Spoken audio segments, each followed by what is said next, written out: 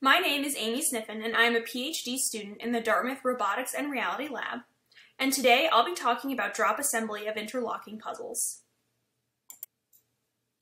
The goal of this work is to develop a foundation for building structures by dropping individual components into place, with the ultimate goal of drone-based assembly. It can be useful for drones to drop interlocking components into a structure. Firstly, dropping does not require a high level of precision from the drone, and secondly, interlocking removes the need for a drone or human to apply mortar or an adhesive to the structure. Additionally, interlocking components make structures stable, while also permitting future disassembly. In this work, we design blocks with features that only require gravity to pull them into place and provide examples of interlocking structures built using this method. The first step towards achieving interlock is specifying block constraints. We use two types of blocks with prismatic joints at different angles. In this example, we consider joint angles of 60 degrees and 30 degrees. As shown in the figure on the left, bottom pegs staple two blocks together in the layer below and connect laterally. Depending on their arrangement, the prismatic joints can lead to an interlocked system or a system that is not interlocked. As shown in the video on the right, this is an example of a system that is not fully constrained, and so the blocks can separate. To prove that structures are interlocked, we consider subsets of blocks. In this example, we use four block configurations as our subsets. The last block placed is bound to the structure. We call this binding a key, and the key prevents this last block from sliding back out of the structure. A key is required for a structure to be interlocked. Using the figure on the left as an example, we see that we can recreate the red section, the blue section, and the middle section as separate structures. By extending these individually interlocking structures, we can create larger structures with just one final key on the last block. In this video, we used a relatively low precision robot arm for assembly to show the feasibility of our dropping model. And now that we've seen how interlocking works, the trick is to design a structure that allows interlocking while dropping from only one direction. The blocks in the previous slide had lateral connections that must be inserted horizontally.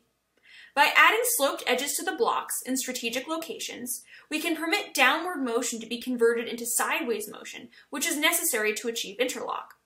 The blocks shown in the video have the same constraints as their square counterparts, but each peg is inserted vertically into a hole. We also note that the angles of the joints are now 45 degrees and 90 degrees. As long as the angles on the blocks are different, we can achieve interlock. We also built larger structures by hand to verify that the formulation works, and it almost does. The final structure shown on the right is fully interlocked, with one key on the upper rightmost block. Now, I'm able to hold the structure unsupported, but due to tolerances between the pegs and the holes, it does have some flexibility. Particularly, you can see flexing in the bottom left quadrant of the wreath, and so we want a way to understand how flexing affects the overall interlocking of the structure. Based on the constraints posed by the blocks, we've built a linear model of the error and show how flexibility aggregates across the structure. The error arises not only from the tolerances between the pegs and the holes, but also from gaps between blocks. In the video, a possible force is applied to the last few blocks added in the upper left corner of the structure. The bottom left block is fixed to the ground. We then plot the difference between the optimized and original positions. The darker the block is, the larger the possible motion the block will have in response to the applied force. We can see that our particular design choices have an effect on how error accumulates, and so we need to develop a relationship between tolerance and interlock.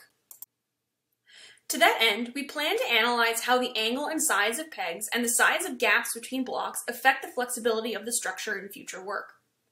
In the current formulation, we have only considered 2D structures, and so we'd like to extend our system to 3D. And since one of the main motivations behind the system is drone assembly, we plan to use a drone or an AUV to build larger structures. Additionally, we would like to implement a more algorithmic method for designing components to better account for contact effects between blocks.